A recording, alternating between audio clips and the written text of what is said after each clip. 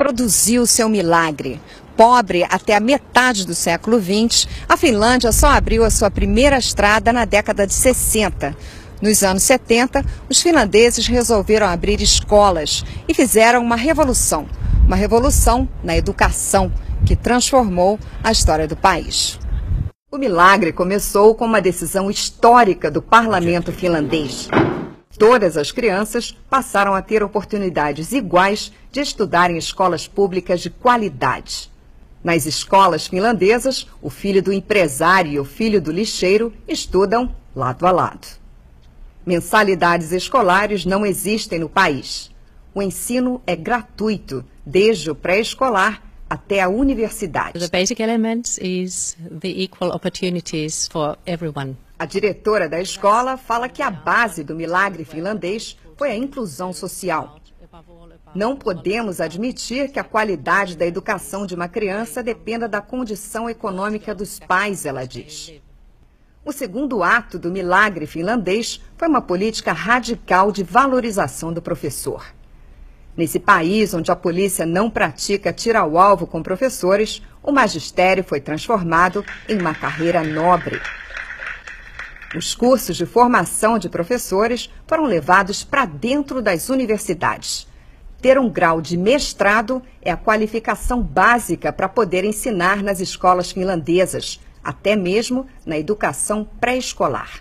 E um novo conceito de dignidade profissional dos mestres foi criado. In Finland, teachers have a high respect and a high social status. O professor diz que o magistério passou a ter um alto status na sociedade finlandesa, que tem grande respeito e consideração pelos professores.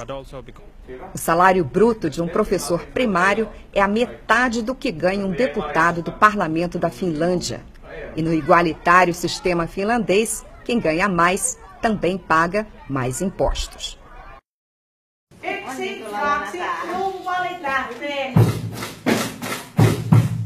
A valorização do magistério provocou um fenômeno paralelo.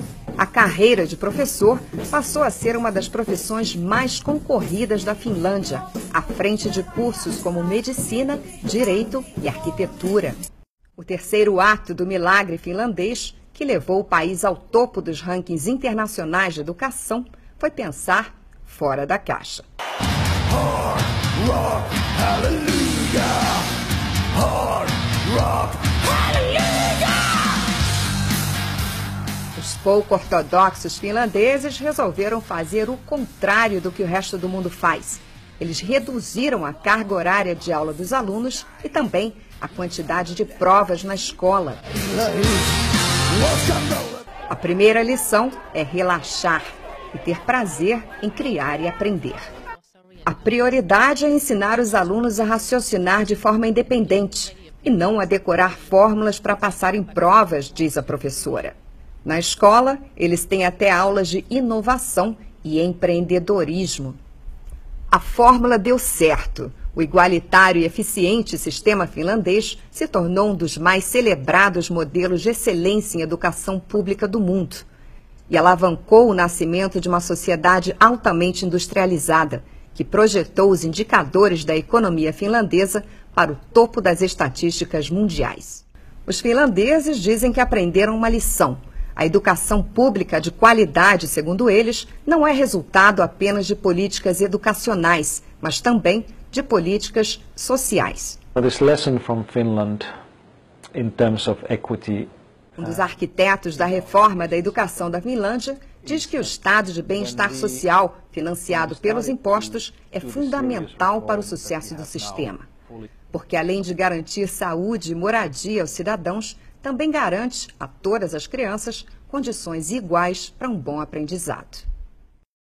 We have learned through our history that if you are hungry, if you are afraid, uh, if you live without love and caring, you will not learn.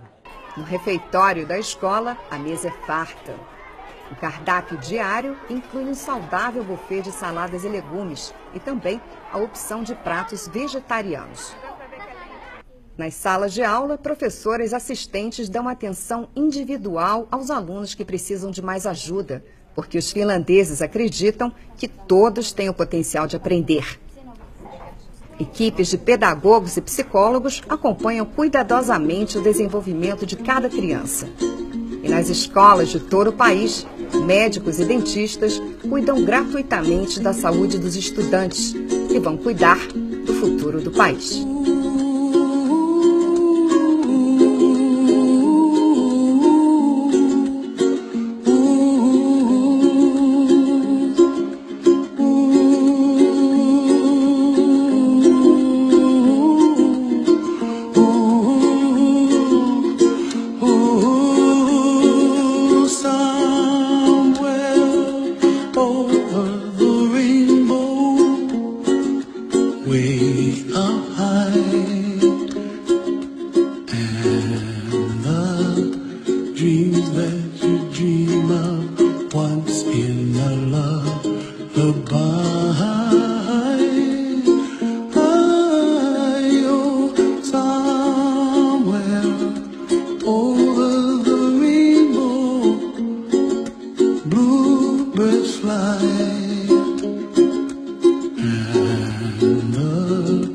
dreams that you dream of, dreams really do come true.